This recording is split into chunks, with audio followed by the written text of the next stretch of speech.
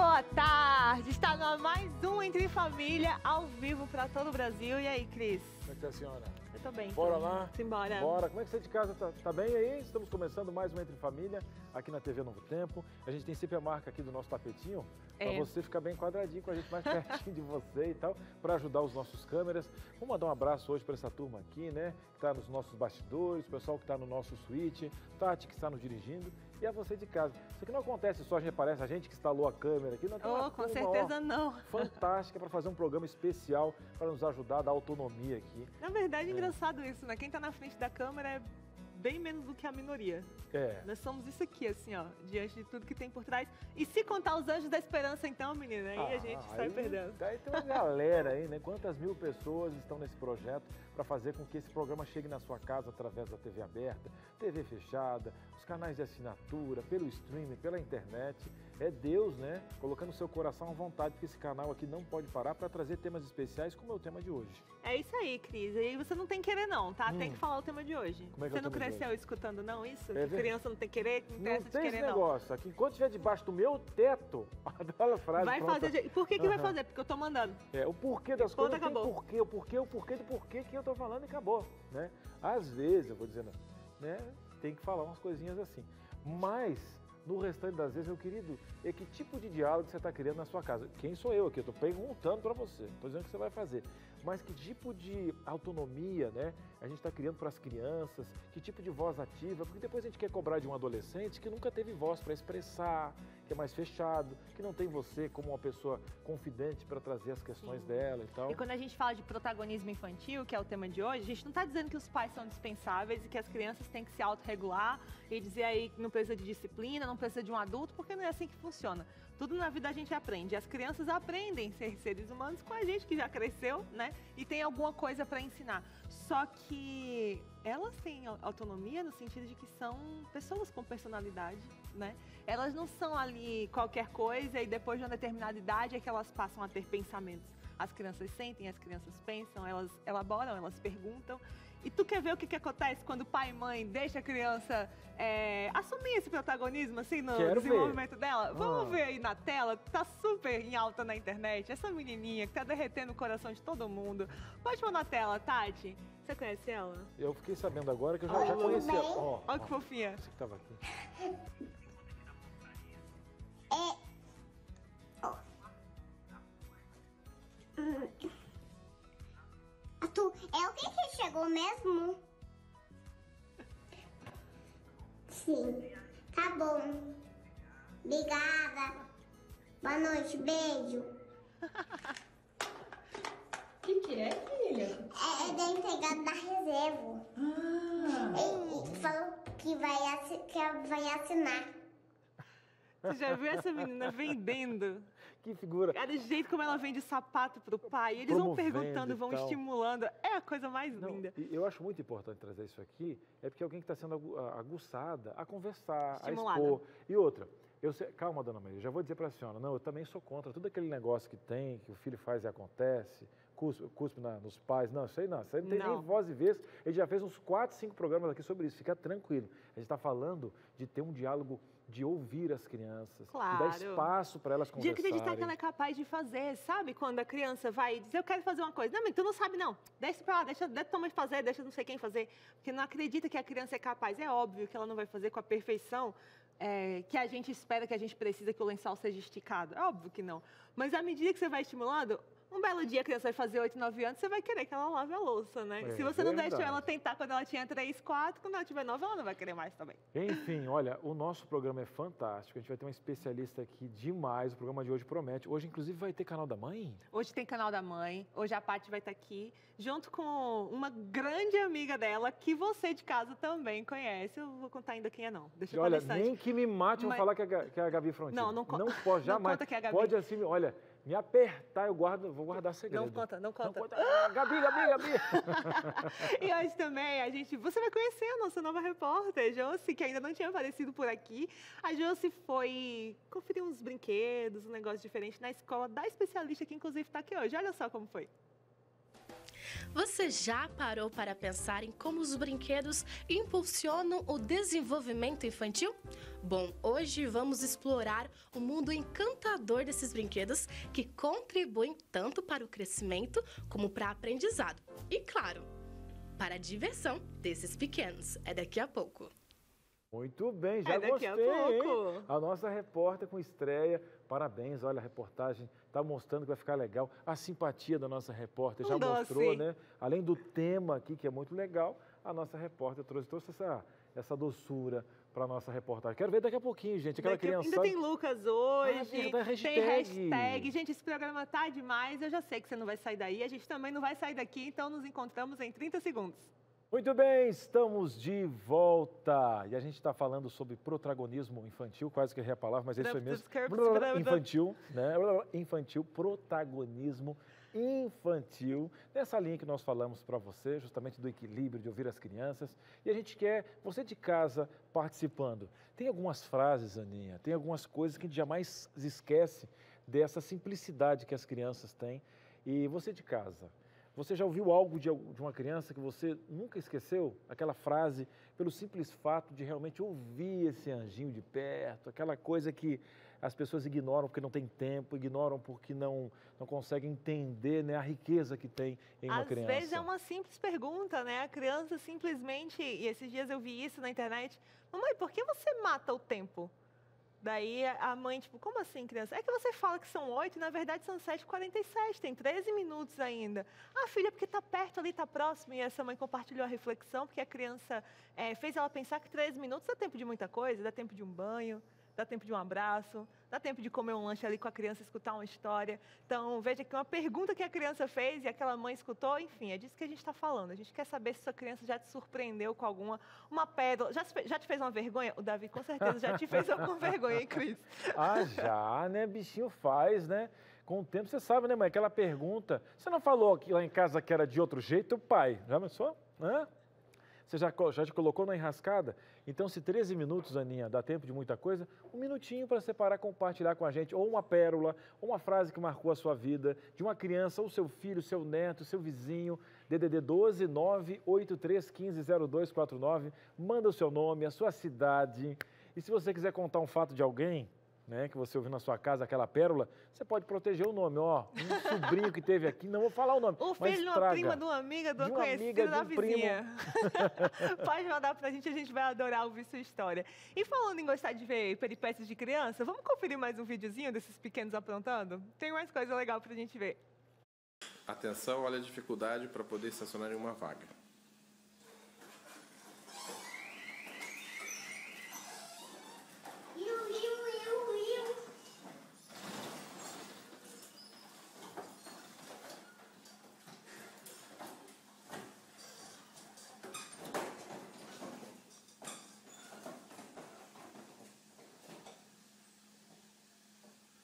Olha a dificuldade. Um moleque de 3 anos consegue fazer.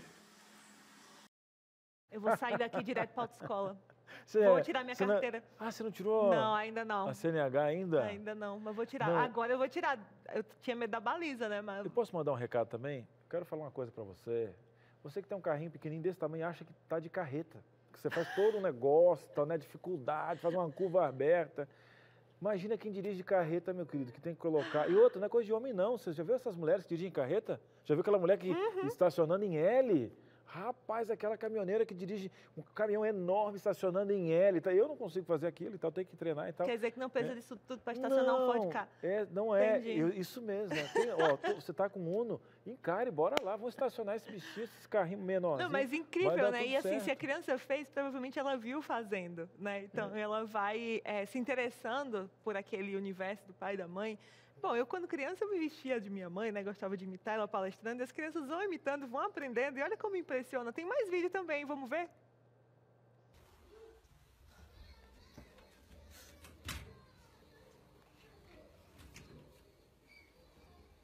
Tanto que essa mãe só... Three.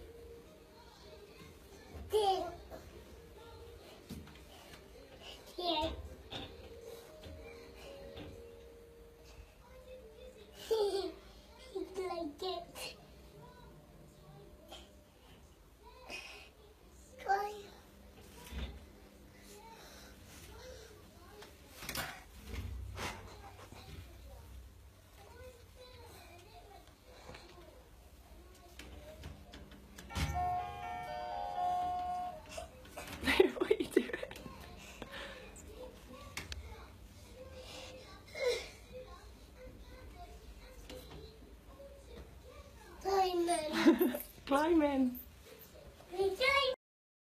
Porque- sabe por que essa mãe filmou?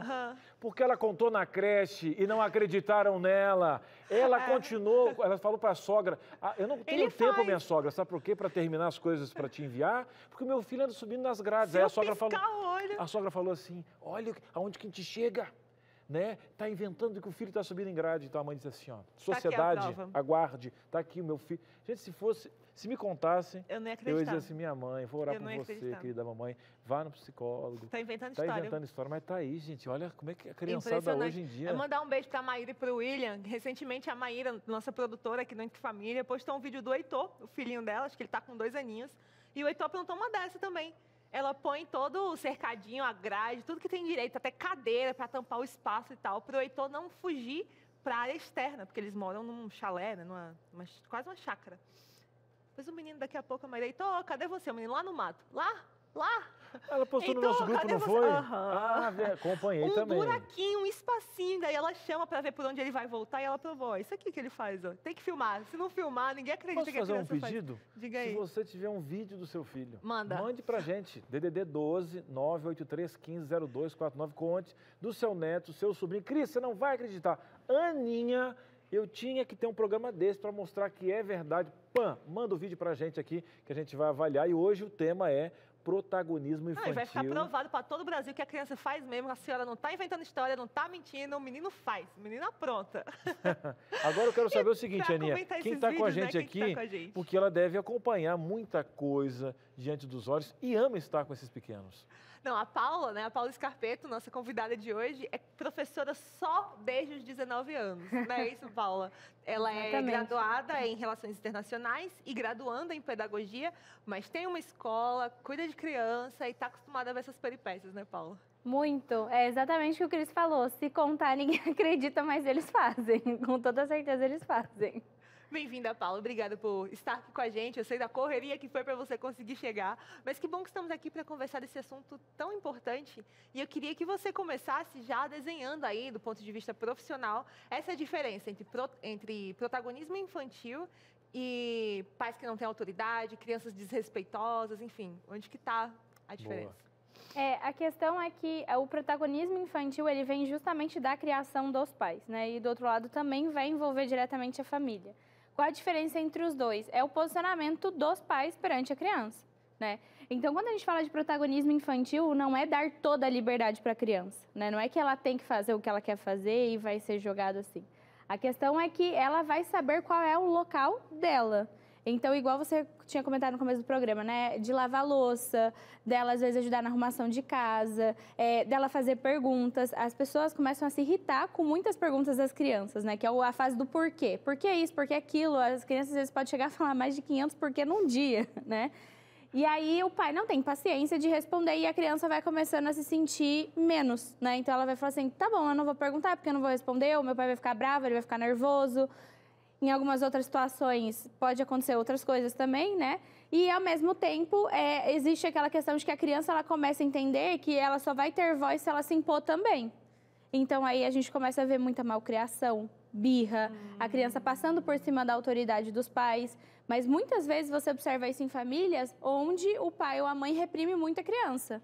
Então ela fala assim: tudo bem, eu quero atenção, eu preciso de atenção e eu vou fazer isso como? Como é que eles vão perceber que eu estou nesse ambiente? A partir do momento que eu Do desrespeitar pior eles. jeito. Então isso envolve muito a questão dos pais. Agora, eu fico imaginando também a, a falta de conhecimento do que é criar um filho. Respeitando, eu- eu- muitas coisas eu achava, colocando Cris aqui, só que o conhecimento liberta, né? Então, a gente, às vezes, as pessoas também não fazem por mal, mas são desfavorecidas do próprio conhecimento, por exemplo. Porque eu aprendi, a- fui criado de uma forma, e, entre aspas, deu certo, com as suas feridas Eu não morri, emocionais, com né? as suas feridas... É o bom e é, velho, eu não morri. Eu apanhei, não morri. Não morri Eu e tal, não tal. morri. E, e a gente vê boas ações em algum conceito. Agora, o quanto muitas crianças, porque nós somos diferentes, né? Tem muitas pessoas que ficaram pelo caminho, que poderiam ter sido né, melhores profissionais, poderiam ter relacionamentos, porque a forma que você vê o amor e a forma como é criada, a forma de agir, a forma de lidar com a mulher, a forma de ouvir as pessoas, né? Porque a microsociedade faz isso. Aí eu pergunto para você, a importância de ter um protagonismo E para isso é necessário de um ambiente, porque você falou que é os pais. Que tipo de ambiente que é o propício, não o, o- a gente não fala de perfeccionismo aqui, mas ideal para que a gente tenha realmente um desenvolvimento, para que a gente tenha essa criança como Saudável. protagonista, saudável nesse momento. Eu acho que você usou uma palavra muito boa. Não existe perfeição. Cada um vem de uma criação, cada um tem um jeito.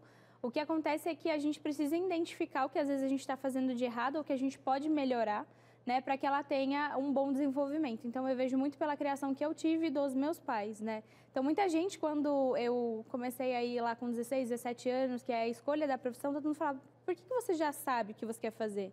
E aí quando eu comecei a olhar para trás e ver o que os meus pais faziam comigo, foi que eu entendi. Então, desde muito novinha, eles me colocavam em muitas atividades.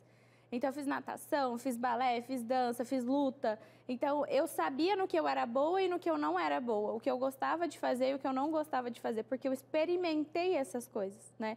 Então, eu acho que você dar a oportunidade da criança provar diversas coisas, ela se conhece, ela tem o autoconhecimento. E essas atividades em si ensinam muito isso, né? O respeito, a questão de hierarquia, eh, postura, eh, convivência em sociedade em si, né? São pessoas diferentes se relacionando com pessoas diferentes em um mesmo ambiente. Então, eu, eu vejo quando as pessoas olhar, olham para mim hoje em dia e falam assim, não, Paula, mas você sabe falar muito bem, você né, tem desenvoltura e tudo mais. Aí eu paro para olhar e falo assim, nossa, mas foi porque na minha infância eu consegui ter acesso a várias coisas diferentes que me permitiram conhecer quem é a Paula Certeza. e saber fazer isso, entendeu? Então, eu acho que hoje, se eu pudesse dar um conselho para as famílias, seria um, deixem que seus filhos possam se conhecer. Fazer diversas atividades, estar presente em diversos ambientes diferentes que vão moldar ele. Aí fala assim, poxa, mas meu filho às vezes desiste de fazer karatê em um mês. Tudo bem, ele experimentou e ele viu que não é para ele, não adianta forçar. Eu né? quero tranquilizar o coraçãozinho da dona Maria, que está achando agora que tem que sair matriculando o menino em 300 atividades É, extracurriculares, nem tem dinheiro para isso. Calma, não é disso que a gente está falando, não. Se você tem condições de pôr na natação, no futebol e tudo mais, amém, parabéns, pode colocar. Mas tem algo, e a gente vai mostrar mais tarde também sobre brinquedo, que revela muito sobre os gostos da criança. Eu lembro de mim, por exemplo, é, vamos imaginar, ah, a menina brinca de boneca, a menina gosta de brincar de boneca. Mas o jeito de brincar de boneca de cada menina vai ser diferente. Então, por exemplo, tem menina que vai gostar de pentear o cabelo. Aí você vai ver que ela vai colocar várias xuxinhas e coisinhas diferentes no cabelo. Tem menina já mais parecida comigo que botava as bonequinhas enfileiradas e gostava de dar aula, de falar para as bonecas. Então, pera, a criança vai na brincadeira mostrando quais são as habilidades dela. E se os pais observam isso e estimulam, ali dentro de casa, de graça mesmo, você já está vendo o que, que a criança gosta. Perfeito. É, o brincar é muito importante, né? Tem muitas escolas que hoje em dia, inclusive, seguem essa linha educacional, que é o brincar. Então, assim, você reservar um tempo do seu dia para passar este momento com o seu filho é muito importante. Hoje em dia, as crianças estão muito nas telas, né? Então, assim, sair um pouco do celular, do tablet em si, para focar no brincar, naquele, na, naquela questão tátil, né? Então, brincar de escolinha, tem o brincar de boneca, os meninos jogar futebol. Pode parecer que não, gente, mas quando joga futebol, tá desenvolvendo coordenação motora, trabalhando equilíbrio do corpo, E gastando energia. equipe também, né? Oi? Desenvolvendo trabalho em equipe também, né? Com certeza. Então, realmente, não precisa sair matriculando em várias atividades, que tem várias coisas que você também pode fazer estando dentro de casa. Agora eu quero perguntar o seguinte, né? A gente às vezes fala aqui, esperando que tenha uma grávida nesse momento, que ainda o filho Não nasceu. não nasceu, né? E na maioria esmagadora, o teu filho já está com seis anos, já está com nove anos. Enfim, quero perguntar. Eu não, eu não dei voz e vez para essa criança, ela está com sete anos. Ela se criou em um momento, não que ela foi, ela teve mau- maus tratos, mas ela agora, a nossa telespectadora está somando e falando assim, nossa, eu não dou espaço para fulana falar. Eu não dou espaço. Aí, de repente, ela vê esse programa e fala, como é que eu vou virar essa chave amanhã? A minha filha nem vai entender. Aí você fala sobre brincar.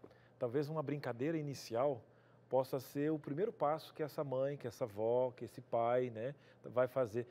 Como que eu viro a chave de uma situação? Tipo, não tenho essa linha de conversa, tenho dificuldade. Será que essa mãe ela pode buscar uma ajuda terapêutica para ela se terapeutizar também, ressignificar a sua infância mais sofrida, para entender dos seus sentimentos, para passar isso de uma forma mais saudável? Te pergunto, quais são os caminhos para uma família virar uma chave? Com certeza, a ajuda terapêutica é muito boa, né? As psicopedagogas, as psicólogas podem ajudar bastante. Mas dentro de casa, o que ela poderia fazer é conversar. Então, sentar com a criança e falar sobre sentimentos. Então, quando a mamãe ou o papai faz isso, o que, que você sente? É, hoje, quais são seus sentimentos? E até existem bonecos, né, que você pode utilizar, que às vezes para a criança é mais fácil de identificar, porque às vezes ela nem sabe o que é que realmente ela está sentindo, né? Você pode utilizar de imagens para ela, para dizer quando a gente faz isso, né, ou quando acontece essa situação, como você se sente? Porque aí o pai e a mãe, né, os responsáveis, começam a entender o que é que passa dentro da cabeça da criança. Né? É, recentemente até vi uma reportagem que falava assim: é, eu vi a minha filha e ela tinha só batido a, a, o pé dela na mesa e ela estava chorando de dor, falando que era a dor mais insuportável que ela já tinha sentido. E eu olhei para aquilo e eu falei assim: como? Ela só bateu o pé. Mas para uma criança, aquela dor é a única dor que ela conheceu, que foi ao extremo que ela chegou. Só que a gente, como adulto, às vezes não consegue enxergar isso. Então, às vezes, tem situações que a gente leva no dia a dia como comum e que para a criança não é comum, né? Porque a gente vai ali no automático. Então, acho que o primeiro passo é uma conversa dentro de casa, até para a mãe entender se realmente está nela, está na criança, se é o ambiente em si que está trazendo alguma coisa para a criança e, com certeza, buscar bons profissionais para poder ajudar nesse momento aí também é muito importante. Incrível, fica esse aprendizado aí não só para lidar com criança, mas para lidar com qualquer outro ser humano. Não dá para a gente medir o outro com a nossa régua, né? Tem um, a minha tem um tamanho, meu limiar de dor é esse. Não é porque eu acho que a dor do outro é menor que a minha, E que não está doendo nele, né? Demora um pouquinho, porque vamos colocar, eu acho que isso que você está falando é, é muito especial, régua para qualquer coisa. Porque se você foi criado sendo medido, você vai criar medindo. Então, por exemplo, ou você vai se achar melhor que os outros, ou incapaz de fazer algumas coisas, não sabendo justamente que cada um tem um tempo. Não que você não possa ter uma direção, que você não possa ter um irmão que se desenvolva. Agora, pai, não compare irmão com irmão. Não se compare com o desenvolvimento intelectual do outro. Deus é tão grandioso que ele sabe que cada um tem um jeitinho especial, uhum. gente, ele nos trata de forma única e essa é a nossa forma. Mas tem tanta coisa para a gente conversar com a nossa especialista que esse bloco aqui, ele, ele é pequeno demais para isso, né, Aninha? Ah, é, a gente vai só dar uma pausa, a Paula não vai embora não, segura aí, a gente só vai dar uma pausa porque queremos manter você informado, não é isso mesmo, Lucas Iago? Com toda certeza, Aninha você de casa está juntinho com a gente. Daqui a pouquinho tem hashtag, já vou adiantar para você o que eu venho trazer hoje. Vou falar sobre o FIES, saiu a lista dos aprovados para o segundo semestre. Vou falar como você saber, logicamente, se você foi aprovado ou não e como realmente se matricular em uma faculdade. Vou falar também de um livro que foi emprestado em uma biblioteca, mas demorou 119 anos para ser devolvido. E mais, vou falar sobre um garoto que foi para uma excursão de um colégio numa mina desativada de ouro e lá ele encontrou realmente uma pepita de ouro. Agora a pergunta é a seguinte: será que essa pepita ficou com ele? Ficou colégio?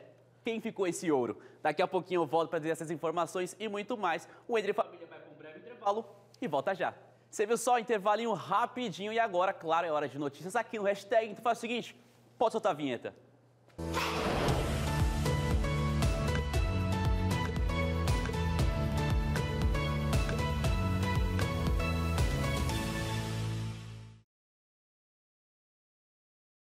Hoje é que saiu hoje o resultado do processo seletivo do Fundo de Financiamento Estudantil, que é o FIES 2023, do segundo semestre. A lista de aprovados foi divulgada hoje e os candidatos precisam confirmar mais alguns dados para realmente finalizar ali a sua inscrição. Vou aqui para minha tela, pode colocar algumas informações.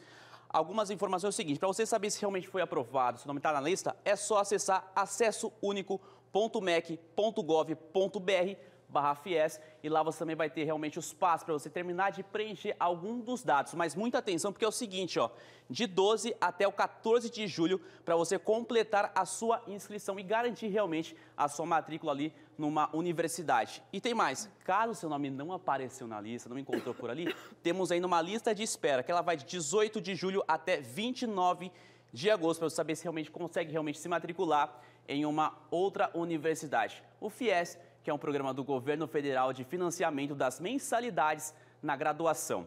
E olha só, pessoal, tem aqui uma outra notícia, eu quero logicamente a participação até dos meus amigos aqui no estúdio, que é o seguinte, um livro que foi esquecido. Eu quero saber o seguinte de vocês, vocês eram daqueles que gostavam de emprestar livro, ir na biblioteca, levar para casa, porque sempre tinha aquela, ó, tem que devolver até tal data, porque talvez você possa pagar uma multa. Eu particularmente gostava muito de fazer isso na minha, no meu colégio, onde eu estudava lá em Tatuí, no interior de São Paulo, tinha uma, biblioteca super legal no colégio de lá, eu emprestava e lógico, se eu passasse um tempinho para devolver, eu tinha que pagar uma multa. Eu não sei se vocês também eram assim, na cidade de vocês, vocês gostavam de emprestar algum tipo de livro, vocês gostavam disso ou não? Ou se era, ainda é assim. Na verdade, no final do ano, quando eu tive lá, Cris, eu fui na biblioteca de novo, depois de sei lá quantos anos, para pegar livro infantil, inclusive, que eu gosto de ler meus livrinhos infantil juvenis, né?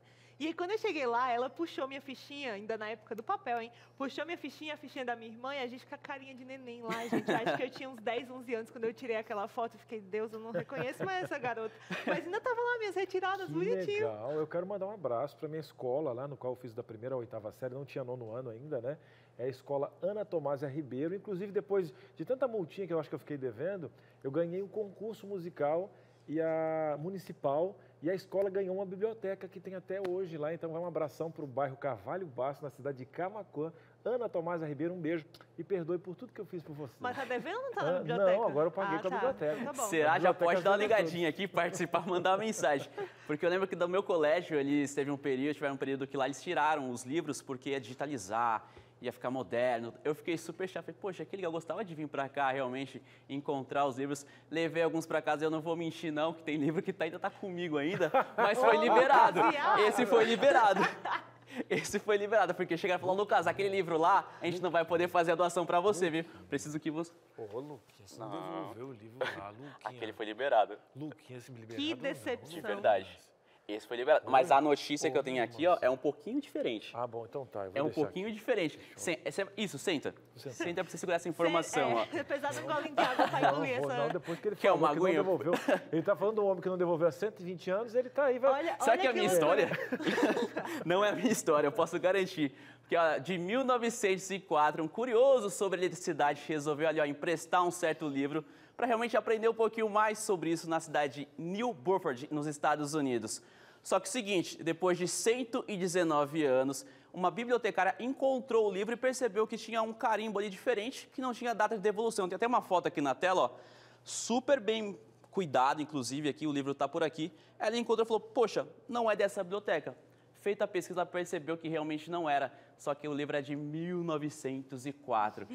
Ela entrou em contato realmente com a biblioteca original, percebeu que ele não foi devolvido, mas agora ligou para realmente a escritora para falar um pouquinho sobre isso aqui, para realmente devolver e tá por lá. Mas um livro super bem cuidado, só que demorou um certo tempo para ser devolvido, mas foi muito bem cuidado. Fui pensando nessa galera que realmente não devolve, tem a multa. A gente estava falando sobre isso aqui.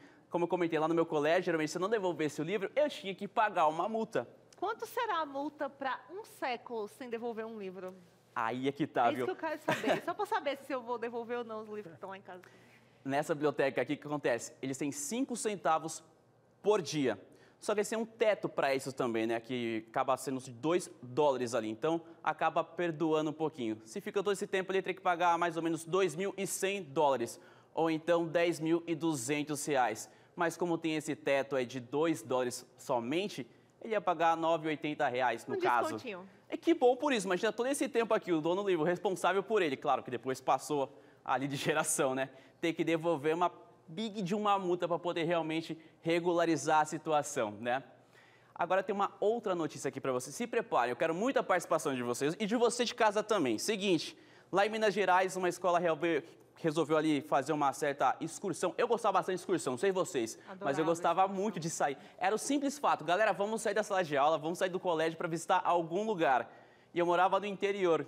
E o rolê sempre, quando era aqui em São Paulo, sempre tinha um shopping na volta. Então, para mim, realmente, o shopping era legal. Não sei para vocês como é que funcionava. Vocês curtiam sair do colégio.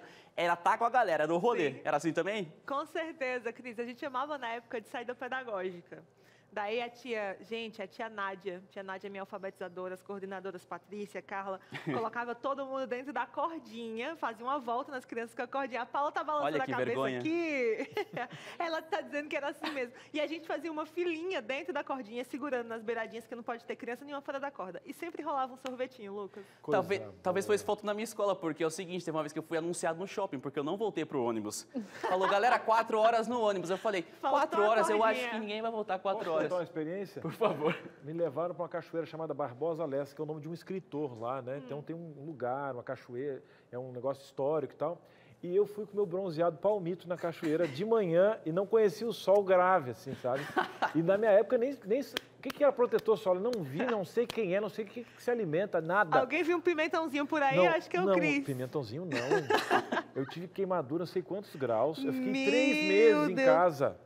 Eu tive que, três meses, deu uns dois meses e meio mais ou menos. Eu fiquei deitado os primeiros 20 dias, para só assim, ó, e vai spray, criar bolha desse Nossa. tamanho, eu tive que usar. Cris do Eu me arrebentei. Eu tô Então, rindo assim, com ó, respeito. Tô dizendo. Aí depois eu descobri que eu era branco nessa excursão. Ah, te contaram que você Me era contaram, branco. o né? sol me Que bom. contou, rapaz, você é branco. Eu vou te contar bem forte para você não esquecer. Eu tenho umas manchinhas nas costas ainda que ficaram até hoje. A e eu história, tive que né? usar um spray, né? Mas deu tudo certo. Olha, eu acho que não foi tão grave quanto a decepção do que o menino dessa excursão que o, que o Luquinhas vai contar Não, agora. esse mas sofreu. Sofreu. Conta aí, Lucas, o que Ah, aconteceu. eu, tenho- eu ainda não, não superei essa história não, viu? Porque é o seguinte, alunos do, de uma escola em Minas Gerais, de Tancredo Alves, foram visitar essa mina de ouro desativada há um bom tempo.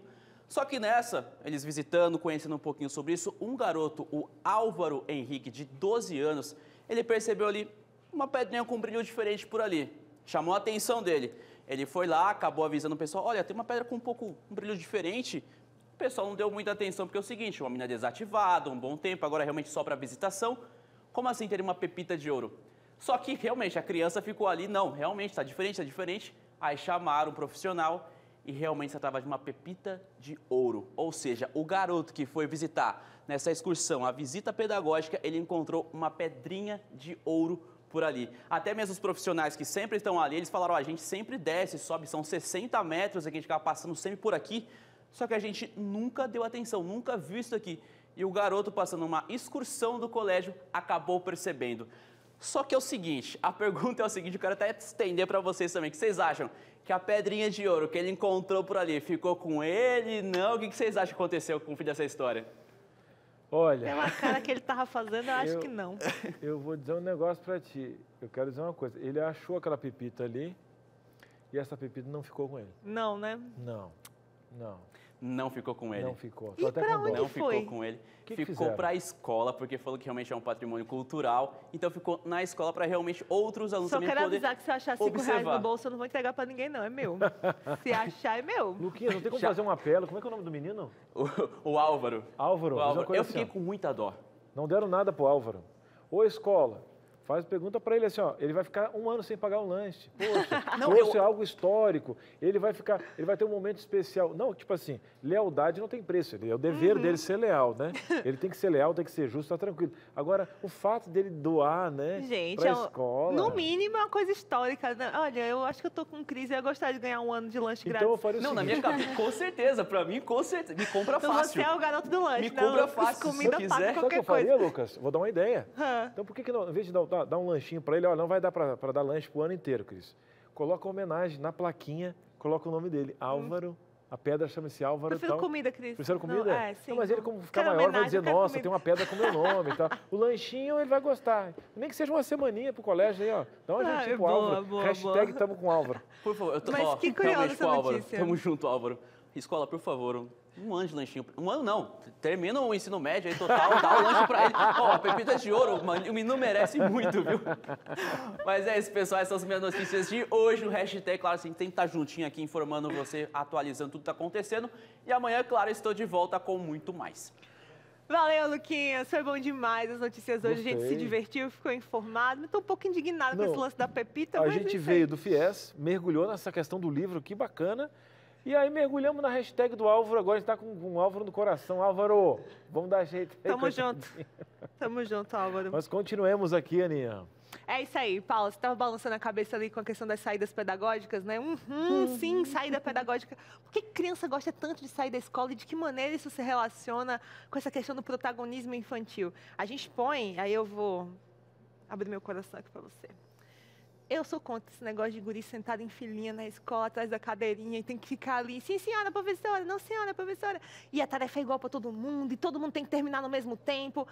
A escola não, não favorece muito essa questão do protagonismo. E quando a gente vê a alegria, os olhinhos brilhando ali na cordinha, né, que vai sair, ai, vai ver o mundo, isso traz para as crianças a oportunidade de se conhecerem, como você falou, né? Conversa um pouco com a gente sobre isso. Exatamente isso. Eu sei que muitos pedagogos não vão concordar com o que eu falo, mas quem já me segue há bastante tempo sabe que eu tenho essa linha desde quando eu comecei a dar aula, né? Eu comecei a dar aula de debates, né? Então eu já fazia as crianças, eu trabalhava desde o sexto ano ali até o terceiro do ensino médio, é, a, a saírem da caixinha, porque a minha maior crítica para a escola é justamente isso. É, todo mundo é criado para ter a mesma resposta, o mesmo comportamento, ficar enfileirado, olhar para uma lousa e replicar a mesma coisa. E não é, a gente já falou isso aqui, né? Que cada ser humano é diferente, cada um tem uma habilidade diferente. Então, por exemplo, às vezes eu tenho um aluno que é muito bom em música, eu tenho um aluno que é muito bom em matemática, eu tenho um aluno que é muito bom em português, e tá tudo bem. A gente não é obrigado a ser bom em tudo, né? É, e a escola não está preparada para isso. Ela ainda não se modificou para isso, né? Por quê? Porque no resultado final, até porque né, foi falado ali no hashtag, a gente tem um vestibular. Então, o nosso vestibular, enquanto ele não mudar, eu acredito que a estrutura inteira da escola não vai mudar. Então, quando a gente faz esses passeios pedagógicos, eu particularmente sou apaixonada por eles, é esse momento da gente trazer a experimentação, a vivência para a criança, né? Então, ela tá ali, ah, vamos falar sobre os animais. Ano passado eu fui com as crianças no Zoológico de São Paulo. Então, quando elas começam a olhar aqueles animais de perto, elas falam, meu Deus, é tão grande assim, tia, é grande assim, nossa, ele corre, não sei então, assim, é, abre o horizonte, né? Diferente de você pegar um livro e ver aquele plano e só colorido, do que você tá ali e ver ele rugindo mesmo, ou ele correndo. E aí fica isso na memória dela, né? Então, muitas vezes, quando ela vai fazer uma prova, uma atividade, ela tem que pintar, né? Vamos supor que são crianças pequenas, é, a primeira coisa que ela vai lembrar não é do livro, vai ser daquela vivência, aquela experimentação uhum. que ela teve ali no dia a dia. Então, é, os passeios pedagógicos, para mim, são super viáveis. Eu acho que as escolas deveriam fazer cada vez mais justamente para isso, né? Colocar em prática aquilo que está na teoria dentro dos livros. Agora, Paula, você falou do vestibular, uhum. né? A gente tem agora a inteligência artificial, né? Uhum. Inclusive até pegaram o chat GPT e colocaram para fazer o vestibular, ele passou. Só o que, que, falta no chat GPT? É o que o ser humano tem, né? Ele não consegue ler as entrelinhas. Então a gente vai ter que ter jovens que vão ter que ter senso crítico, senão a tecnologia vai deixar mais, né? Vai emburrecer. Você deu uma informação que não deu tempo nem eu não mastiguei, eu tô aqui do lado dele. Tu mastigou essa informação? Não, é. Agora... Botaram a inteligência artificial para fazer o vestibular. E ela passou. E ela passou. Passou. Passou, eu acho que em cursos de humanas, que ela é bom, psicologia, tal, tal. Só o que, que o, o chat não tem, a inteligência artificial não tem, ela não consegue ler as entrelinhas, que é o que o ser humano tem. Então a gente vai ter uma, uma geração que tem que trabalhar muito mais essa questão crítica. Aí você falou sobre enquanto o processo social me cobrar isso, enquanto a questão, eu quero fazer uma faculdade para uma, uma matéria específica, eu teria que ter um vestibular específico, né? Por exemplo, vamos pegar Einstein. Olha as notas de, as notas de Einstein para algumas matérias, ele não ia bem, uhum. ele, não, ele, não se, ele não se acomodava ao sistema específico. Mas olha, olha que tipo de vestibular ele teve, da vida, de poder enxergar naquele elevador a questão da gravidade, poder entender as coisas. Então, ele mesmo se deu liberdade em um universo paralelo para que a mente dele se desenvolvesse, já que no universo real não acontecia. Aí eu pergunto, muitas crianças buscam, buscam fugas, mas às vezes o sistema que deixa tudo médio, eu crio uma criança mediana, né, Paula? Exato, porque na sala de aula, você imagina, você tem 30 alunos, a média, né? Algumas escolas têm até mais. E aí você tem alunos que eles estão na média, alunos que estão avançados e alunos que estão com defasagem. Como é que você dá aula? Eu não posso subir muito nível, porque esses dois vão ficar, pra, vão ficar de fora. Eu não posso descer o nível, porque esses dois aqui não vão conseguir acompanhar, então tem que ficar sempre na média. Então eu não consigo fazer com que aquele aluno, né, o que eu sinto muito, né, na parte quando a gente pega bastante contraturno lá o reforço, é que aquela criança que ela é muito boa numa matéria, ela acha a escola chata, desinteressante. Mas por que, que é desinteressante? Porque ela não estimula, não desafia ela cada uhum. vez mais, né? E aí, quando você fala assim de ter algo específico, muitos países já fazem isso, né? Portugal tem vestibulares específicos, Estados Unidos tem vestibulares específicos, né? Formas diferentes de você entrar para aquele curso que você deseja. É que não, a gente tem que saber tudo de todas as matérias. E se a gente não é bom em todas as matérias, a gente não pontua e a gente não passa no vestibular. É por isso que a gente tem pessoas que às vezes acabam ficando 4, 5, 6 anos em um cursinho pré-vestibular para tentar ingressar em uma faculdade. E estudando e se desenvolvendo em habilidades e matérias que elas nunca mais vão usar. Exatamente. então é, é muito ruim porque acaba é, matando mesmo isso dentro da criança, né? Então algumas habilidades que ela poderia ser melhor desenvolvida e até a gente chama isso de soft skills, né? elas acabam ficando para fora. Então, por exemplo, não é trabalhado o senso crítico na escola, não é trabalhado muito a parte é, de socioemocional. Hoje em dia, até mais, né? Vieram alguns programas para dentro de algumas escolas, mas são coisas que, por exemplo, um robô não sabe fazer isso. Uhum. É do ser humano fazer isso. A sensação que né? eu tenho às vezes, Paula, é de que a escola mesmo acontece no intervalo, no recreio. Porque aí você vê de que maneira as crianças se organizam. Eu estava vendo algumas, é, algumas. Bem adolescente, acho que é pré-adolescente, não sei bem como dizer, acho que tinha 12 anos, 13 anos. E ah, os pais dela tinham uma loja de coisas de celulares e ela pegava com desconto na distribuidora e revendia para os colegas de sala e fazia dinheiro. E que horas isso acontece? No intervalo. Quando que você vê aquele menino que tem mais desenvoltura, que todo mundo se agrega ao redor dele, e aquele cara que de repente vai se tornar um bom coach, um palestrante, um bom psicólogo, porque todo mundo gosta de conversar com ele, ele sabe sorrir, sabe, sabe agregar. E nada disso dá tempo de ver enquanto o professor está falando e o menino está anotando. né? Exato, Então, tanto é que muita pausas. gente fala assim, nossa, mas o fulano era tão bagunceiro na sala de aula, né? Ele era tanto isso aqui que olha hoje como é que ele tá, justamente por conta disso, né? Quando a gente olha ali naquele mundinho muito pequeno, a gente não consegue enxergar tão, tão grande, né? Como essa pessoa pode ser lá na frente. E, enfim, acaba, acaba sendo isso, né? E o chat GPT hoje, é, ele virou uma coisa que, que ligou muito alerta de muitas pessoas. Inclusive, tem uma faculdade em São Paulo que começou a aceitar você fazer o vestibular com o chat GPT. Porque não adianta só você ter a ferramenta, você tem que saber fazer a pergunta certa para a ferramenta. É o que eu penso sobre calculadoras. Ô, tia, tinha Rose lá na quarta série que não deixava eu usar calculadora. O problema não é eu saber fazer a conta ou não. Eu tenho que saber o caminho. Ela pode fazer a conta pra mim, tá tudo certo. O lápis com tabuada tá tudo certo, não é não, Cris? Agora o relógio está contra a gente. Esse A tá. gente já despede da Paulinha agora? Ainda não, Ela fica a com a Paulinha gente? volta. Então sim. quer dizer que a gente faz uma vírgula, Uhum. porque também a gente tem um momento muito especial que volta nesse novo cenário, porque é estreia aqui, né? É Tá estreia. vendo aí? Eu acho que, acho que é estranho mesmo, gente. Eu acho que a gente não teve isso aqui. Já não teve? teve, não. Não teve já? Então vamos fazer o Não. seguinte, hein?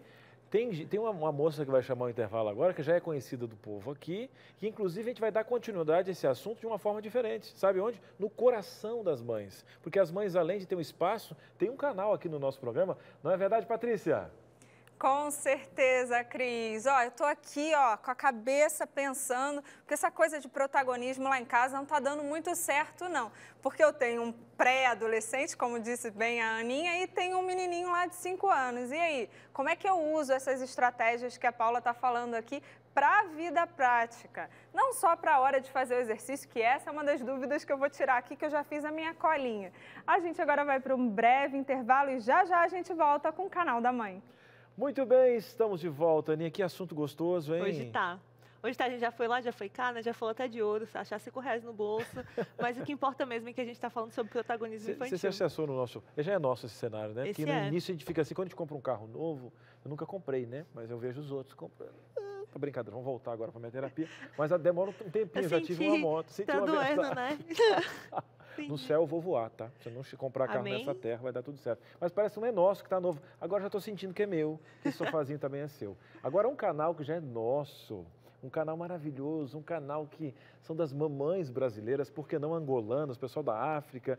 Patrícia já teve aqui no bloco passado. Por onde foi essa menina? Vai dar continuidade, porque eu quero saber daquela frase que ela falou assim, Aninha. Ela falou o seguinte assim, ó. Aqui em casa esse negócio de protagonismo tá Não meio tá assim, dando muito hein? certo, não. Vou ter que chamar uma amiga para nós conversar sério sobre isso. Não é verdade, Patrícia Piper? Com certeza, olha, essa coisa do protagonismo, te garanto que eu estou estudando a respeito e não tem sido nada fácil. Eu vou ter que trazer uma amiga, uma amiga assim que a gente tem uma conexão até sem se ver, a gente estava com o mesmo tom e é assim que a gente tem seguido, mas antes, roda a vinheta.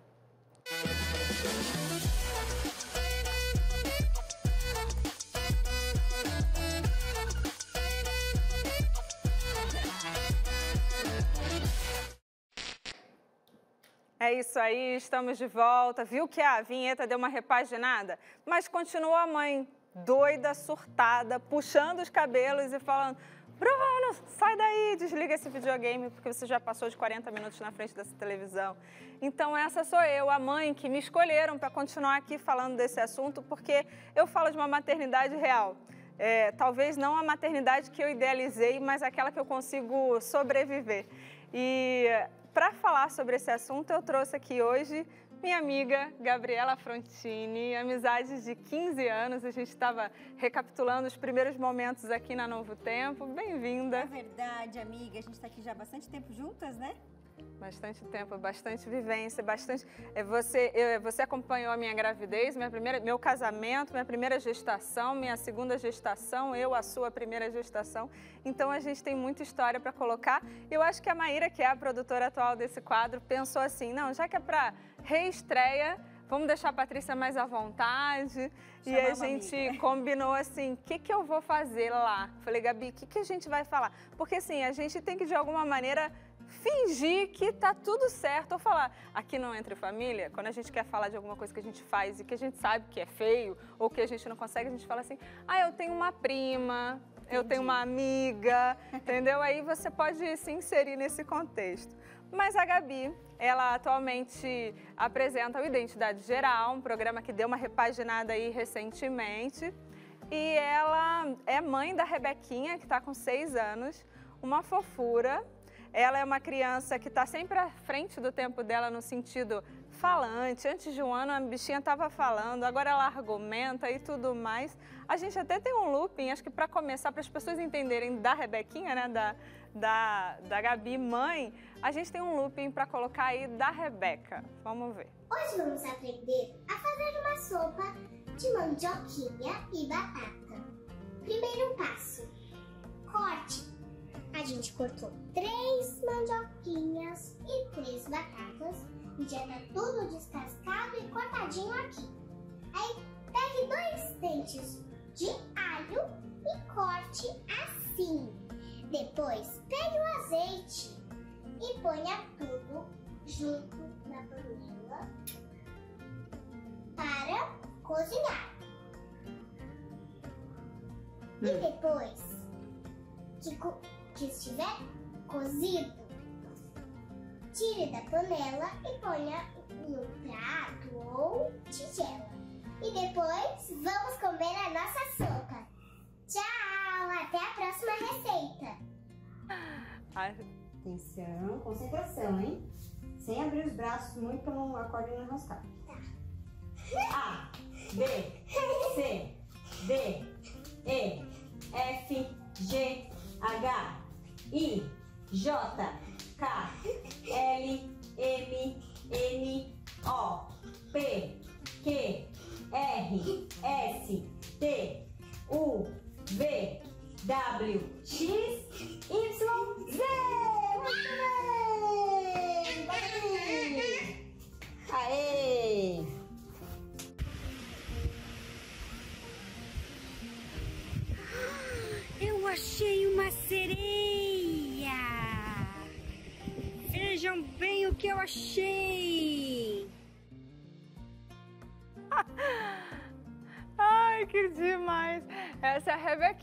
Uma mini jornalista, Gabi? Olha, ela é bastante comunicativa, né? Mas ela tem outras habilidades também. Vamos ver para que área que ela vai no final das Mas contas. não motora, né, Gabi? Não, motora. A gente fala que ela passou muitas vezes na fila da fala e poucas vezes na fila da coordenação motora. Mas ela tava pulando corda, eu não consigo pular tá, corda. Não, ela tá aprendendo. Esses dias, foi a única, foi a primeira vez que ela conseguiu pular bastante, assim. A gente ficou ó, treinando ali, ó. Gabi, fala aqui pra gente, vamos pegar o pessoal de casa e fazer todo mundo entrar nesse nosso tema aqui sobre a questão do protagonismo. A gente sabe que a Rebeca é uma criança comunicativa, ela chega, ela argumenta, ela contra-argumenta. De que maneira que você e o João, seu marido, lidam com essa situação em casa? Olha, eu acho que a primeira questão é estimular.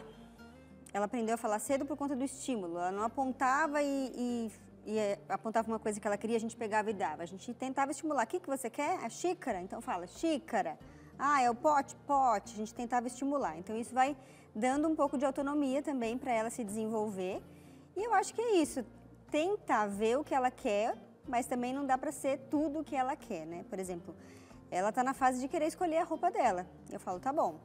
Só que eu tenho que dar as opções, porque senão tá um dia frio, ela quer pôr uma saia com uma sandália, aí não dá. Eu falo, olha, tá frio. Você quer pôr vestido, então você vai ter que pôr uma meia calça e um agasalho por cima, um, um casaco por cima. Então a gente vai dando autonomia na medida do possível, porque também ainda não tem noção do todo, né? Como essa Sim. questão do frio que você que eu comentei. Sim. Lá em casa eu tenho pensado assim, porque o que mais está tirando meu sono é a questão da adolescência, né? Então eu tenho um filho argumentativo também que fala, mas por quê? Não tem nada a ver, né? Se não tem nada a ver, enfim. Mas é uma situação que a gente está aprendendo lá em casa e recentemente eu comprei um curso é, como você ter diálogo com teu filho adolescente, né? E uma das coisas que a gente vem muito com a ordem, né? Então, assim, você só pode colocar tal casaco. Não, você tem esse ou esse, tem que ser um casaco. Ah, mas eu não tô com frio. Então, vamos fazer um combinado? Que tal você levar para quando a gente sair do carro, para quando a gente chegar no ambiente, você tirar, mas lá você pode ficar sem se você não tiver com frio. Então, assim, mas é mesmo? Por que, que você não quer? Então, esse estímulo, mesmo para uma criança de 11 anos, em outros contextos, não no do casaco, é, eu acho que precisa, né? Precisa, porque eu acho que a geração atual é muito diferente da nossa, né? A gente foi criado de uma forma diferente. Eu quando mando a mãe e você obedece. E o pai é. falava, é porque é, é porque eu falei, tem que ser assim, pronto, acabou.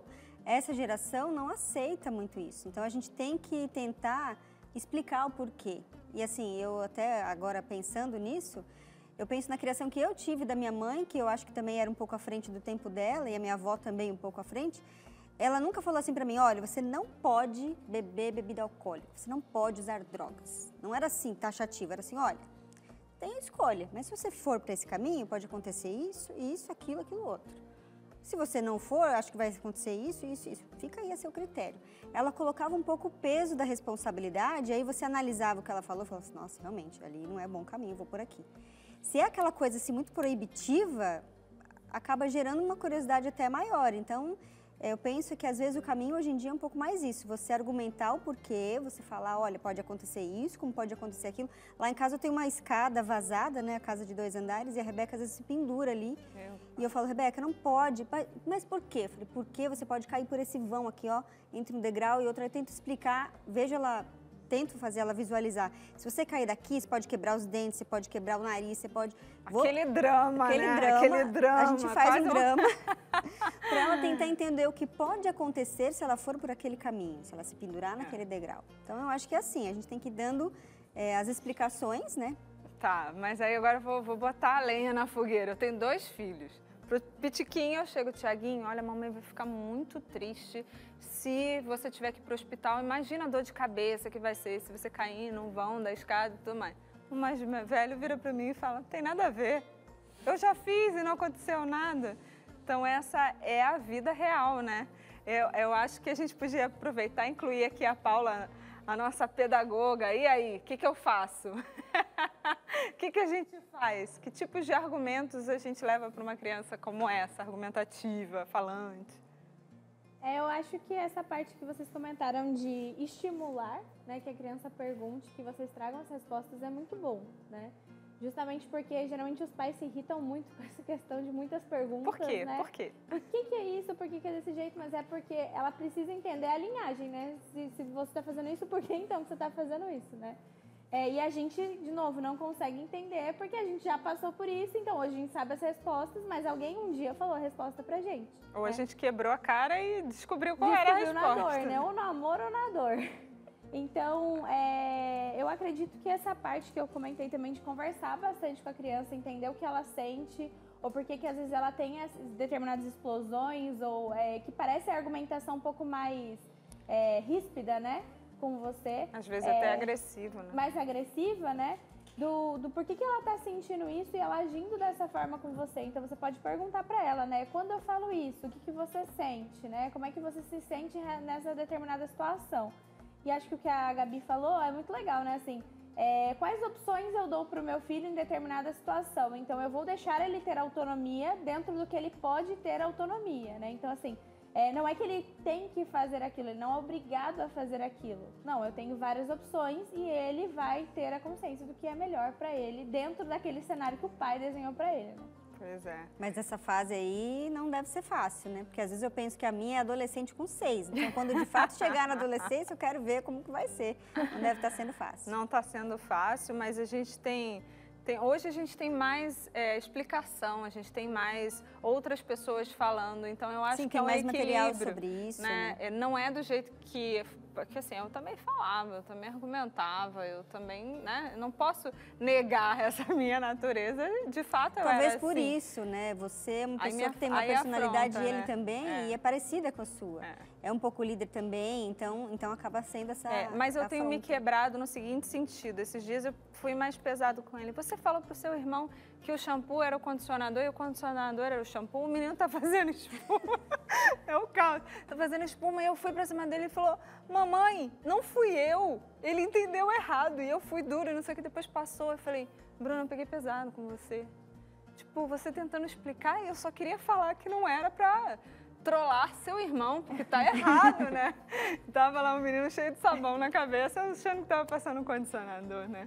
Então é, é um desafio, né, Gabi? É um desafio e assim, só Deus mesmo pra ajudar a gente, porque filho é igual videogame, viu, Ó, gente? o Cris tá rindo lá, porque provavelmente, provavelmente o Cris faria a mesma coisa. Filho é igual Eu videogame, achei- Cris? não, eu achei fantástico, você gosta de shampoo, né? Que coitado, não fez nada. E ele não fez, né? O pior é que ele não fez. Se foi Não. sem querer também, eu Não. entendo o que aconteceu, mas se foi de propósito também foi muito Não, engraçado. gente, não, imagina eu vou a dar, cena. Não é teu eu vou dar ponto pro Bruninho dessa Porque não é teu É que na hora você não sabe. E tem Imagina tanta o menino coisa, tentando né? enxaguar o cabelo. Aí ele assim, ó, mamãe foi o Bruninho que disse, e a cabeça cheia de shampoo e não acabava o banho. nem precisa passar condicionador naquele cabelo, vai, fala sério. É isso, mas Eu ia gente falar o seguinte, que filho é igual videogame, porque a cada fase que passa vai ficando mais difícil. Mas o bom é que a gente sabe que tem um fim, né? Tem um fim. Eu acho que não vai ter fim nunca. Não tem, não. Olha lá, Tem o Paula. fim, claro não tem não. fim. Tem Filho criado, trabalho dobrado, não é assim, Paula? Ó, os meninos estão tudo rindo aqui, hein? Vamos voltar, vamos voltar. Mas antes da gente se despedir. Nossa, Para, é. Cristiano. Vai dar trabalho, viu? Vamos falar então do trabalho que você tem feito aqui na Novo Tempo, né? Depois de 14, 15 anos na Novo Tempo, é, você já fez um pouquinho de cada coisa e agora você está de volta oficialmente na frente das telas, é, entrevistando, que é uma das coisas que a gente mais se diverte Sim. em jornalismo. Como é que tá a Gabriela Frontini? Co- Como é que é? Identidade com Gabriela Frontini. Olha, Paty, tá muito legal, porque ter contato pessoalmente com as histórias, isso é fantástico, né? A gente que é jornalista, um dia foi repórter, sabe que a parte mais gostosa do jornalismo é essa, conhecer as histórias. Então, estar ali com as pessoas, conhecendo as histórias, entrevistando, tentando extrair delas o melhor para contar para o telespectador aquela pessoa, aquele projeto, está sendo fantástico. É, tenho conhecido pessoas de diferentes, de várias áreas assim. Hoje mesmo vai ao ar o programa com o Acústico, quem é mãe gosta desse rapaz, não sei se você conhece. Ele faz várias paródias, né, que ele chama de pairódias, porque eles pegam as musiquinhas ali de galinha pintadinha e tudo mais e faz paródia em cima da maternidade da paternidade. Então é bem divertido e ele veio ao programa, hoje à noite vai ao ar esse daí, bem legal. Mas a gente faz projetos também diferentes. É, agora no final do mês de julho vai ter uma moça que pegava brinquedos usados, reformava para dar para as crianças brincarem na pandemia. As crianças de comunidades carentes não tinham que brincar, não tinha escola, não podia ir para a escola porque a escola estava fechada. Essa criança vai brincar com o quê? Não tinha brinquedo. Então ela fundou aí uma ONG chamada Instituto Tia Flávia e assim a gente vai conhecendo pessoas e projetos interessantes que a gente possa se inspirar. Com certeza, essa semana também tem Daniel Littke e Daniel Marla. Lidic e Marla Lidic, porque vai ser o dia do cantor na quinta-feira, então a gente entrevistou aí essa família, né, esse casal tem que tem esse ministério. E agora eles estão colocando os filhos também como protagonistas ali do ministério, cantando também, fazendo parte dos clipes. Vai conhecer um pouquinho melhor a história deles, que é muito legal, bem inspiradora também. Não é um problema termos os nossos filhos como protagonistas, porque eu acho que de alguma maneira após a maternidade a gente fica mais voltado à família e os filhos eles fazem parte desse centro familiar. Tá tudo bem, mas de uma certa maneira com equilíbrio, né, com, com um tom. Às vezes a gente vai um pouco longe, a gente volta um pouquinho e Deus sempre vai motivando. Eu acho que esse, esse, esse tem sido o nosso ministério, né? Sim. Trabalhando na Novo Tempo, seja na frente das câmeras, seja por detrás, como mães, mulheres, né, Gabi? Sim, multitarefas ali, É. né? A mulher é muito multitarefas. E eu acho que a grande questão do protagonismo ali é não deixar os valores de lado. A criança pode ser protagonista, mas ela deve ainda continuar obedecendo ali valores, né? É só uma situação rápida. Esses dias o vô da Rebeca deixou cair aquele joguinho Uno no chão. E aí espalhou todas as cartas no chão. Eu falei, Rebeca, ajuda seu vô a pegar. Não fui eu que derrubei. Eu falei, e daí? Tipo, vai ajudar. Seu vô tem 80 anos, vai deixar ele ajoelhado no chão pegando as cartas? Então, assim, esse tipo de valor. Precisa continuar aprendendo a respeitar os idosos, a, re- a respeitar os pais. Não é toda hora que a criança tem que sair falando. Se o adulto está conversando com outro, espera um pouquinho. Respeito, né? Daqui a pouco é sua vez, Não só o mais. adulto, como as pessoas. A gente tem que Sim. aprender a respeitar onde a gente está, as hierarquias. Exatamente. Então, essa questão dos valores ainda permanece, mas o protago- protagonismo está aí também em equilíbrio essas duas coisas. Tá certo. Então a gente vai ficando por aqui nesse momento. Um momentinho que eu vou descer e vou dar um beijo na minha amiga. Ah, vamos Terças e quintas, seis e meia da noite. Gabriela Frontini. Agora a gente vai pro intervalo e volta já já. Muito bem, estamos de volta no nosso Entre Família, protagonismo infantil. A gente mergulhou até no canal da mãe. A Paula, nossa especialista, está aqui também. E você de casa está perguntando, mas Cris, tem tanta coisa agora que vem na minha mente. Será que castigo faz bem? O que, que biblicamente tem essa orientação? O que, que é criar a criança no caminho, né? Outra, eu tenho tanta birra aqui na minha casa, eu tenho que me preparar como pai, eu me sinto despreparado. Então, seus problemas acabaram, lembra? Seus problemas acabaram literalmente. Está aqui na minha mão presente um guia. Olha só, Revista Esperança e mais uma edição, Pais Preparados, Filhos de Caráter. Quem escreveu aqui, hein? Darleide Alves, ela que vive isso há muito tempo, atendendo famílias, no consultório de família, vive isso, estuda, né? atende famílias, escreveu muita coisa boa nesse guia para ajudar você em tantos temas. Liga agora e peça de graça. Ó, o cheirinho. Anjos da Esperança, mãos que transformam vidas. Esse projeto possibilitou a construção desse material, a diagramação, a impressão e o envio. Você não vai pagar nada. Eu faço um desafio para você. Liga agora 0 operadora 12 2127 3121. Fala assim, ó, eu quero aquela revista. Isso, Pais Preparados, Filho de Caráter. Eles vão pedir o seu nome completo, seu endereço com o CEP, seu CPF. Pronto. A gente cuida dos seus dados, temos a lei de proteção de dados e pronto. Cris, mas não vai ter uma surpresinha? Hein, Cris? Fala comigo olhando nos meus olhos, estou olhando Dona Maria, não vai ter nada. Um livro desse, um guia para preparar a sua família. Liga agora. Fala que você viu na TV Novo Tempo. O Cris estava segurando lá no Entre Família e ele falou que é de graça, totalmente de graça. Uma outra forma é através do nosso WhatsApp, tá? O WhatsApp é o 12 98244 4449. Está passando aqui, tá? E do ladinho, aqui, ó, você tem um QR Code. Aponta a câmera do seu celular. Isso, vai ter um link. Clicou, vai para o nosso WhatsApp. Fala assim, ó, quero a revista dos pais. Aí vai vir um link. Você clica no link, vai para um site para você mesmo preencher, tá certo? Ou através do nosso WhatsApp, ou através do nosso telefone fixo. Em ambos os lugares é de graça. Tá aqui, ó. Vamos preparar essa família? Quanto que vai gastar? Gente, aqui a gente tem um programa específico, diariamente estudando com você, e a gente manda esse guia para sua casa. Graças ao Anjos da Esperança, mãos que transformam vidas. Fechou? Quando você vai pedindo o seu guia totalmente de graça, a gente volta para a nossa sala da verdade, porque, Ana, no bloco anterior ao canal da mãe, a gente colocou uma vírgula. Patrícia ainda consultou a nossa especialista Aham. no canal da mãe, mas ainda existem várias dúvidas para a gente poder fechar esse assunto. Tem dúvidas e tem vídeos também, que você pediu vídeo, o pessoal de casa mandou. Não, sério? Aham. Ah, tá Nem te brincando. conto, menino. Então, Tatiana, pode colocar na tela pra gente conferir? O que será que essas crianças aí de casa estão aprontando, hein? Ai, gente, eu acho que eu tô comendo bola aqui o negócio, hein? Ah, Que a gente esqueceu, mas a Tatiana não a esqueceu. gente tem um link. É, tem. A gente tem uma história, uma história não, na verdade, uma visita que a Josi foi fazer. A Josi, que a gente apresentou lá no editorial, nossa nova repórter e produtora aqui do Entre Família, ela visitou a escola da Paula. Ela foi lá conferir alguns brinquedos educativos, as coisinhas pedagógicas que as crianças fazem ali juntas entre si, que desenvolve o protagonismo delas. Ah, mas então vamos fazer o seguinte. Vamos lá então ver esse link. E a estreia hoje da nossa Estreia da repórter Josi. aqui no nosso Entre Família. Bora lá. Isso mesmo, Crisiana. Estam- Eu estou aqui rodeada por pequenos especialistas que vão nos mostrar como os brinquedos auxiliam no desenvolvimento infantil. Mas antes, quero apresentar eles para vocês, tá bom?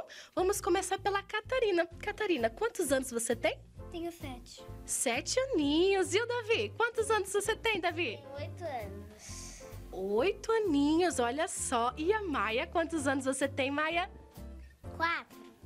Quatro aninhos. Você viu aí de casa, né? São grandes especialistas que vão estar aqui nos orientando a saber qual brinquedo ajuda a estimular, a desenvolver a criança. E claro, também estou acompanhada pela professora Paula, a pedagoga Paula. Obrigada, Paula, por ter aceitado o convite. Eu que agradeço a presença de vocês aqui no nosso espaço.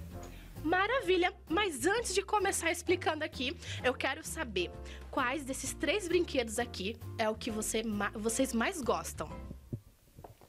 Quebra-cabeça. O quebra-cabeça, e se eu contar pra vocês também, é o brinquedo que eu mais gosto. É muito legal, né? É muito divertido. Mas aí, vocês sabem me contar quais benefícios eles trazem? Esse brinquedo traz? Imaginação? Será que tá certa, professora? Será que tá certa, Paula? Com certeza, o quebra-cabeça ele ajuda bastante a trabalhar a imaginação das crianças, além das formas geométricas, né, de questões de encaixe, então a colocação das peças. Então, com certeza, a Catarina está muito certa em dizer que estimula a imaginação das crianças. Olha, um ponto para a Catarina. Que legal, Catarina. Parabéns. E agora esse daqui. O bloquinho, esses bloquinhos aqui de construção. Vocês sabem me dizer se tem algum benefício não tem? Aquele momento do cri-cri, cri-cri. Não, cri-cri não. Aqui não, então tá bom. Professora, pelo jeito eles já não sabem quais são os benefícios. Pensamento? Será que é pensamento? Você sabe nos informar?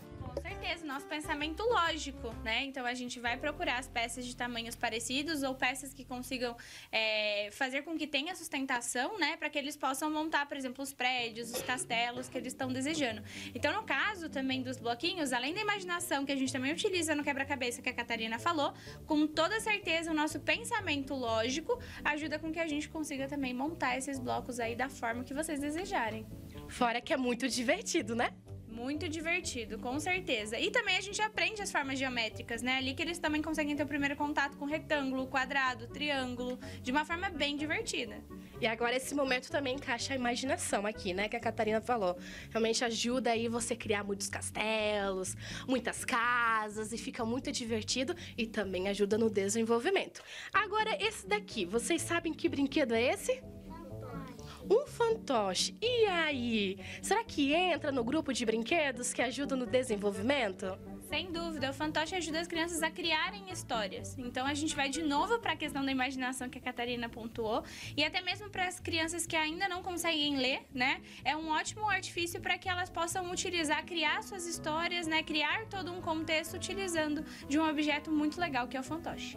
E coloca legal nisso, né? Já consegue explorar várias histórias. E esse aqui tá muito bonito, porque eu aprendi a fazer fantoche e meia. Esse aqui tá muito chique. Com certeza, e você ainda pode usar os dois em conjunto, né? Então, por exemplo, eles podem criar um cenário utilizando os blocos e utilizar os fantoches para fazer parte do próprio cenário. Então é só deixar a imaginação rolar solta, que eu sei que isso daqui eles são craques em fazer. Muito obrigada, viu, Paula, pelas informações. Agora eu quero ver vocês colocando na prática, construindo um lindo castelo com essas pecinhas aqui, tá bom? Com esses bloquinhos de construção.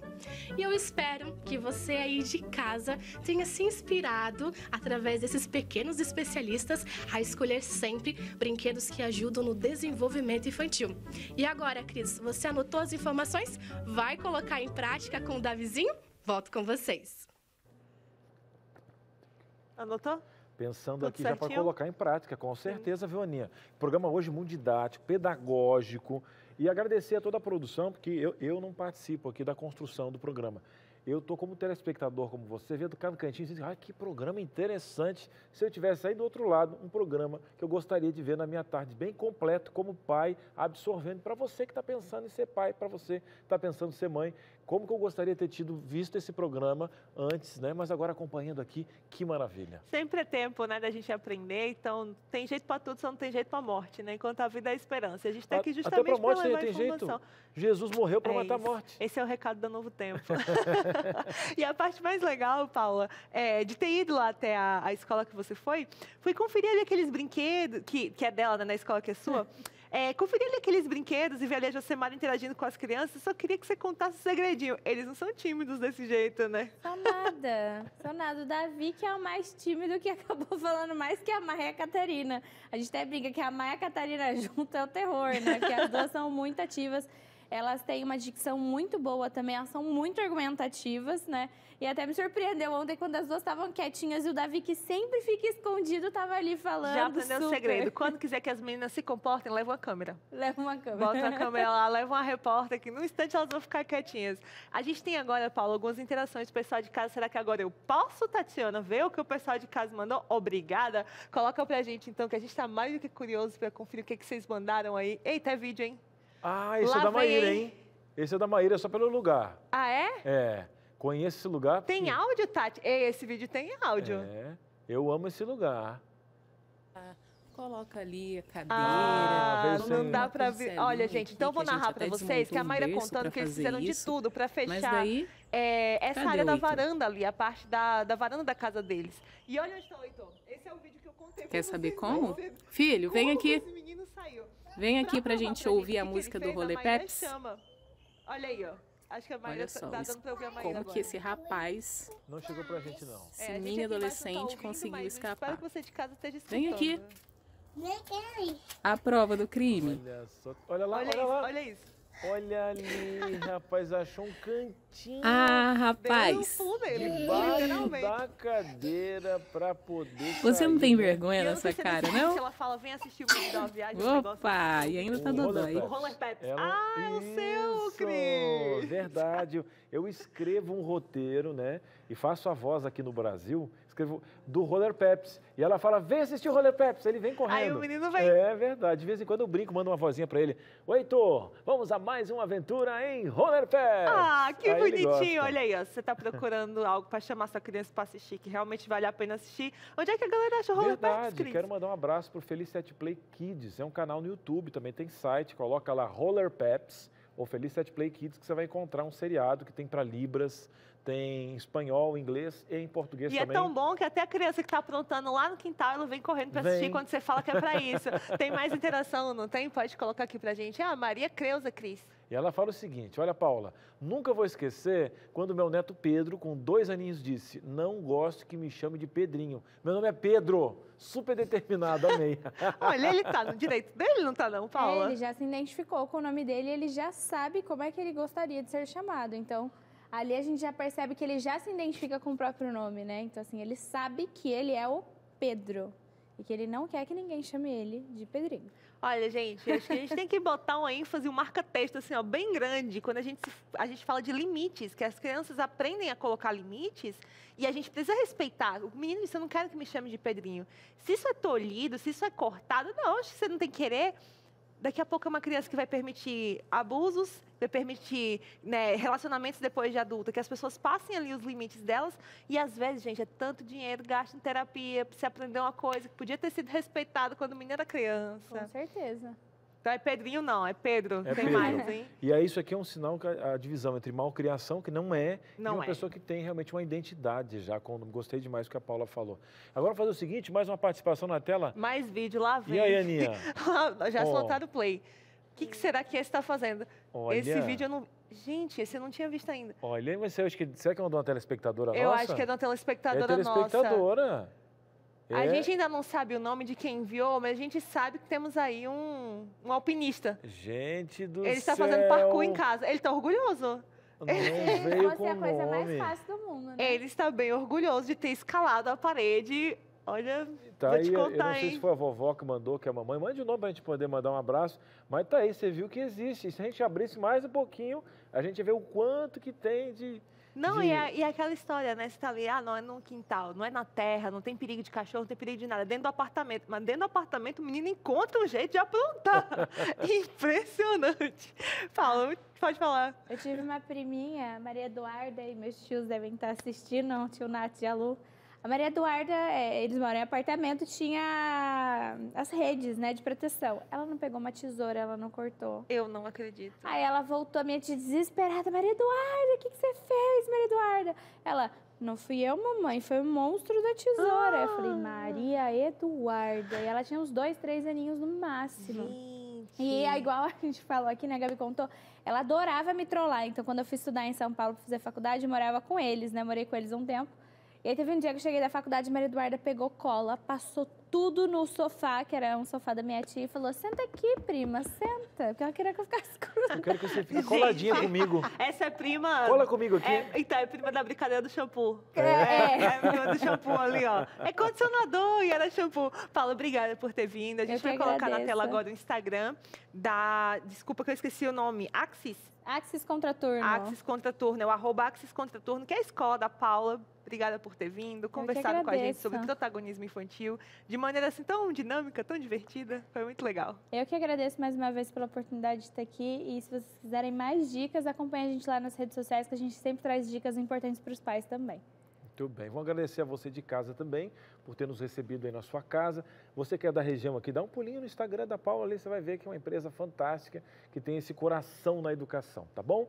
E amanhã, às duas e meia da tarde, o nosso Boomerang está de volta com outro tema fantástico, Aninha. É, a gente vai talvez dar uma rinhada aqui, como diz o. É? Frio ou calor? Frio ou calor? Calor. Frio. Calor, Frio, Cristiano. frio, frio.